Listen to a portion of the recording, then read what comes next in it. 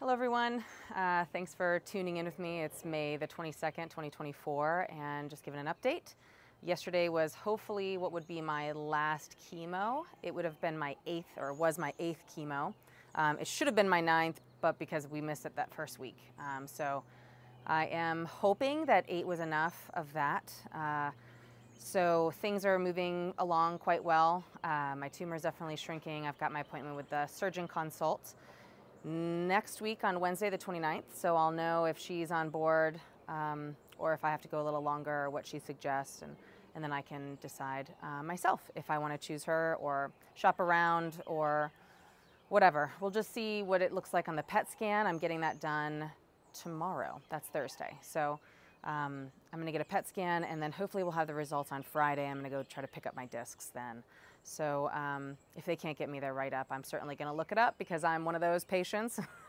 I looked at the first one really early on too, and it, I am not, you know, frightened by that kind of stuff. It's just more information.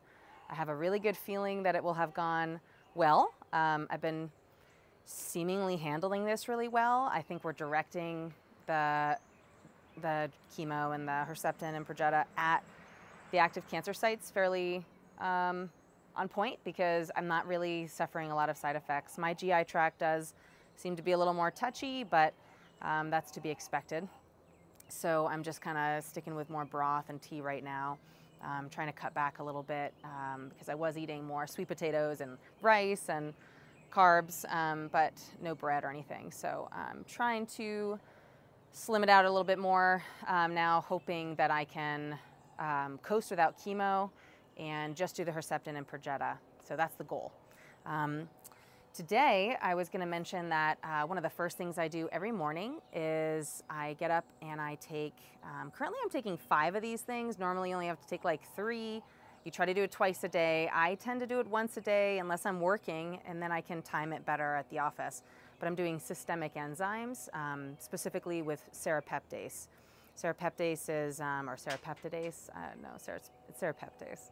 Um, so it comes from a silkworm, and silkworms make silk, and they have to be able to break that silk down. It's one of the, the fibers down. It's one of the um, strongest, you know, anti-fibrogen um, type uh, enzymes out there, so or elements out there. So um, it's pretty cool to take internally. You can help clear out inflammation. Um, it does end up seeking out old viruses and other you know, debris and particles that need to move out of the body. So it's, it's really great at scavenging for stuff like that. But I'm mostly taking it for inflammation and breaking down the fibrin and helping my body cope with some of this necrotic debris from the die off of the cancer cells. Um, so that's a really big deal, I think. Not everybody knows about serrapeptase, and it's not a cheap supplement, um, but uh, I would recommend finding one that has a few different other enzymes in them because it helps to allow serrapeptase to do its job more efficiently than having to try to do all of the jobs.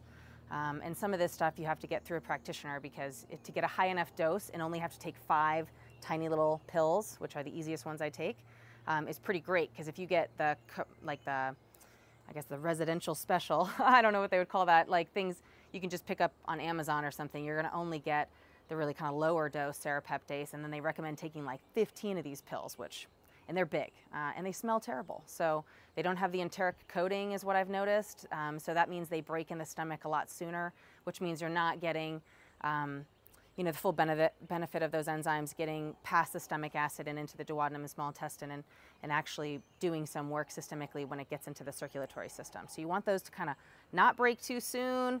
Um, so you need that enteric uh, coating. I think that's a big deal for some of those enzymes. They're, you know, might as well spend a little bit more and get the good stuff. So I really like World Nutrition. There's like maybe one or two other companies out there. Um, but anyway, not an advertisement. I don't get any money for that. But I'm taking them myself. I think they're wonderful. I'm also taking a nattokinase um, for a uh, cardiac inflammatory um, support, um, just to make sure that I'm getting a little bit more focused attention on the inflammation that might be happening around the heart um, because of all of the Herceptin I'm doing. That's, you know, for the HER2 blockers because your heart will also take a little impact from that.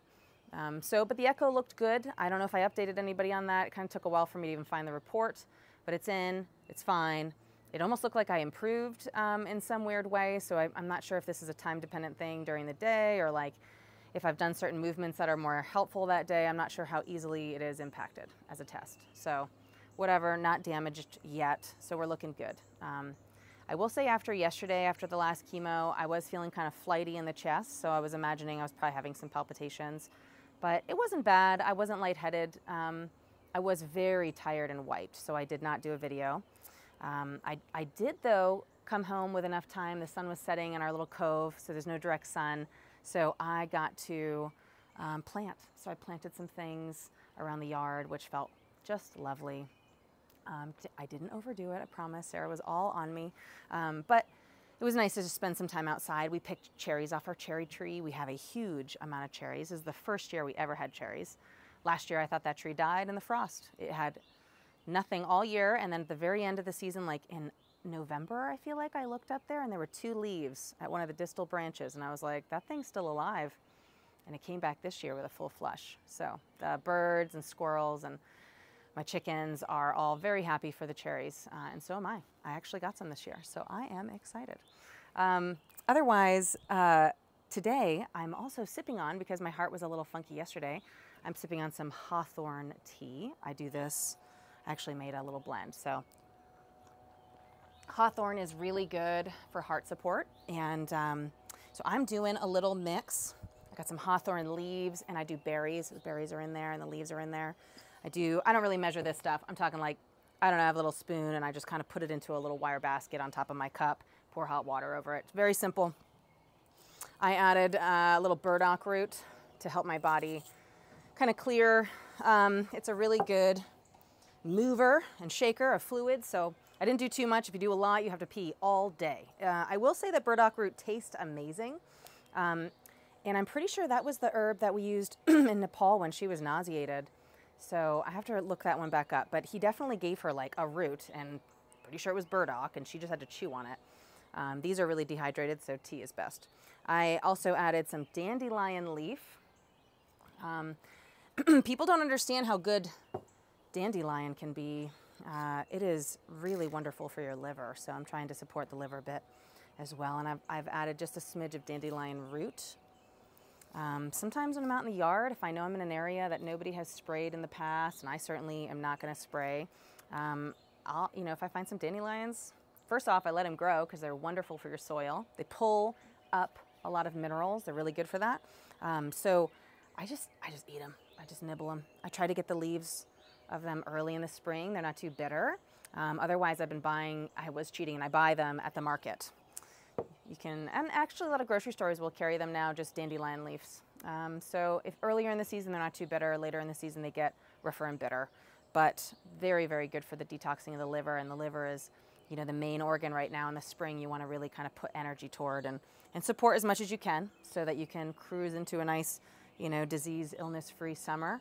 Um, and just because I think it tastes amazing and I think it balances all my teas, I did a bit of nettle. So stinging nettle is wonderful, full of minerals. Um, it's just really a rich, um, super nutrient, nutrient dense leaf. So that's my tea for the morning. And otherwise, uh, I did have my 23rd mistletoe injection, mistletoe visit, um, truly. So 23rd visit down there which is a lot in a short uh, few months. So that was really great. The day went wonderful. I had a friend drive me down and back. Um, we had a blast, um, just great conversation. I feel just really grateful for all the people in my life, um, including everyone out here that's listening to my videos. Um, I really, I have definitely never known how many people can kind of come out and help support. So that has been eye-opening. I hope that is what changes, you know, my look on the world. I thought I had an optimistic look, but you know, I guess when you really look at some of the systems I've been around in my life, like the medical system, if you look too close, it's a pretty sad state of affairs. But if your, you know, your perspective changes on it dramatically, uh, you can see some really wonderful things. Um, I had, you know, I had a great time at, at, the clinic, getting hugs from people, and then even at the hospital at Messino, uh, the nurses always seem to like, you know, say hello and give me eye contact, and um, that's pretty cool. So, you know, I think I think everybody's just trying to do their best out there. So I hope you do too. And I think that'll do it for my video today. Thanks for tuning in.